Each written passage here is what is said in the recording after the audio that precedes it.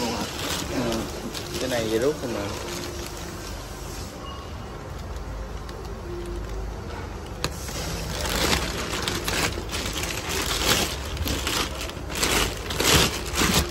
Anh chưa kiểm tra cái dây điện sâu vậy. Chưa chưa chưa rõ. Dây điện